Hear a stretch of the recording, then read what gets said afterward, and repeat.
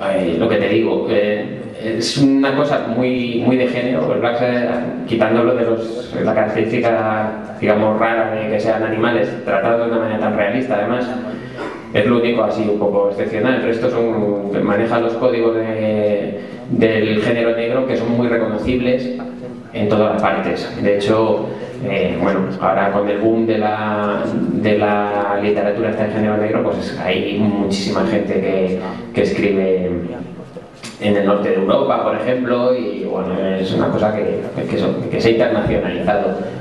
Tenemos una invasión cultural importante de, americana desde que hemos nacido y lo reconocemos casi como nuestros. Es que conocemos Nueva York mejor que, que Chamberí.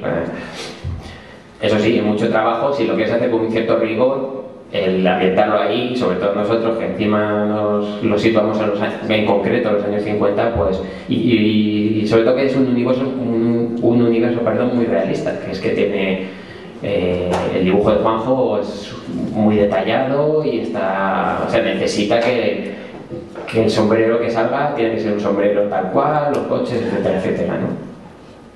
Y por otro lado, eh, me interesaba saber si alguna vez habéis planteado Black Sat como eh, de animación en vez de cómic.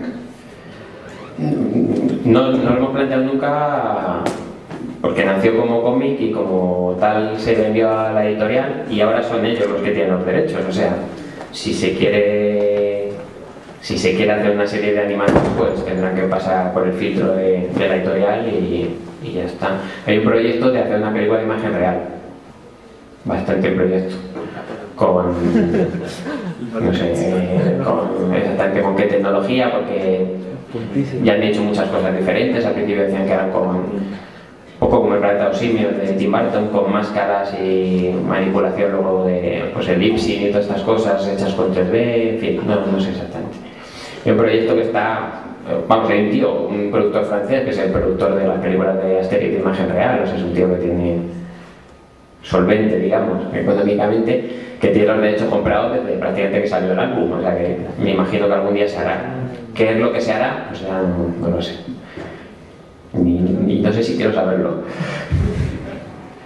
Bueno, pues A ti. Y muchas gracias también a Juan por acompañarnos en la jornada de hoy y eh, nos despedimos de él. y,